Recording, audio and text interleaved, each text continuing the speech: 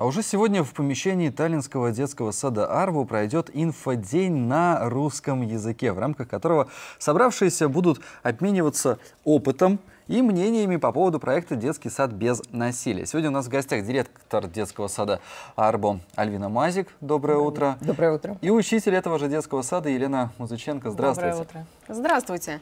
Ну что же, я вижу, что к нашему Трифону добавилась теплая компания с игрушками. Буквально да. вся игровая площадка у нас э, теперь на столе. Расскажите, с кем вы пришли? Э, я пришла с Большим Мишкой, который в группе самый главный и много мишек маленьких. Э, ага, которые это у каждого символ. Они друг на друга похожи. Они очень семейство. похожи друг на друга. И э, у каждого ребенка в нашем детском саду, начиная с трех лет, есть вот такой вот маленький мишка. А это самый главный, который проводит собрания, который рассказывает детям, как вести себя, рассказывает их, им об основных ценностях.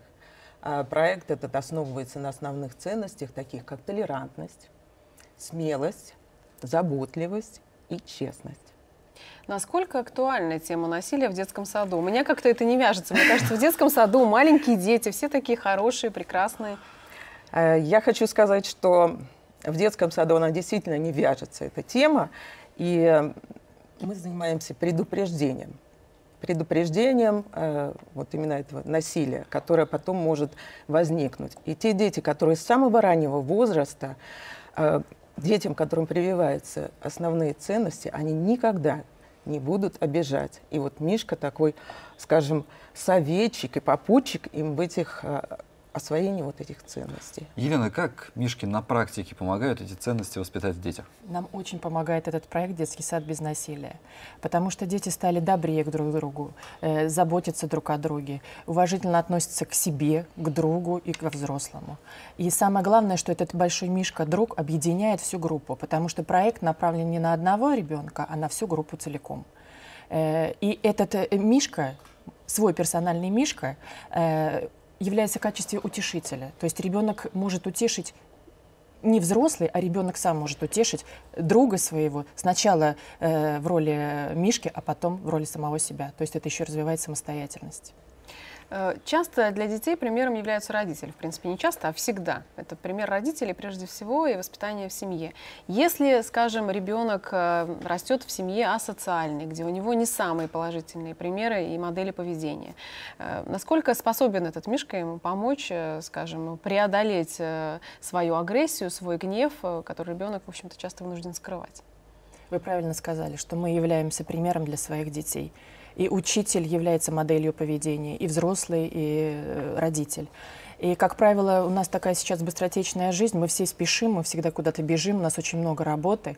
И поэтому бывает так трудно да, найти время. Приходим домой, сажаем ребенка перед телевизором или даем компьютер или планшет.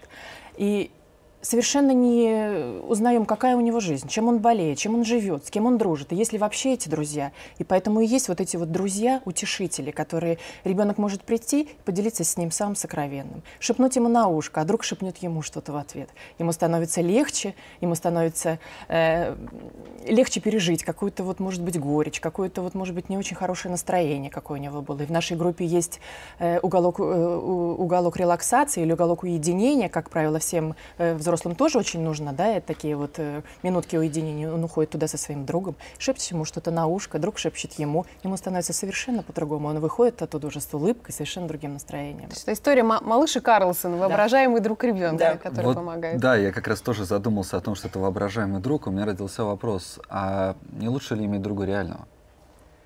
Ну, он и есть реальный друг, он обязательно, но иногда нам нужен и какой-то вымышленный друг, с которым мы можем действительно поделиться, которого дети могут взять домой с собой. И этот Мишка посмотрит, и большой Мишка, и маленький посмотрит, как ребенок живет. И э, что я хочу сказать, что наши родители э, самые активные участники вот этого проекта. Они э, вместе с детьми э, заботятся об этом Мишке, шьют ему одежду. Дети придумывают вместе, вместе с родителями имя этому Мишке. Поэтому это как становится член семьи.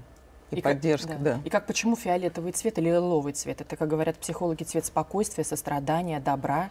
И, как правило, когда мы начинаем проект, все мишки одинаковые. Когда они берут домой, придумывают имя и придумывают ему одежду, они становятся разными. Как и мы с вами. Мы все люди, но мы все разные. У меня вопрос к педагогам. Можно. Э, п- Педагоги часто говорят о том, что дети поменялись. Вот те, кто работают, например, 20 лет в детском саду, что раньше дети были, может быть, спокойнее, послушнее, сейчас они сложнее, они более закрытые, э, иногда э, более агрессивные. Правда ли это или нет? Вот подтверждаете вы это или нет? Конечно, бывают такие случаи, как я уже говорила, что у нас очень мало времени, да, мы мало уделяем друг другу внимания. От чего агрессия? Это дефицит внимания. Он хочет обратить на себя внимание, таким образом он поступает где-то, да, э, агрессивное поведение у него выявляется. Поэтому мы должны больше э, обращать внимание, больше заглянуть в его внутренний мир. Поэтому мы и есть взрослые для этого, да. Нет плохих детей, есть плохие модели Поколение воспитания. изменилось детей? Действительно они стали Э, другими? Действительно Да. изменилось. И, скажем, вот этот проект, который э, с 2010 года ведет некоммерческое объединение Союза защиты детей, а в наш детский сад он пришел в 2013 году, и все э, группы детского сада нашего, их 9, а, начиная с трех лет до семи, участвуют в этом проекте. И э, что я хочу сказать, что именно сотрудничество и партнерство с родителями объединяет и семьи, и детский сад. Вы говорите о сотрудничестве и партнерстве с родителями, но сегодня вы будете обмениваться опытом, я так понимаю, что с коллегами. Насколько сильно это партнерство, если программе уже пять лет? Вы знаете, э, учитель, он не может быть один.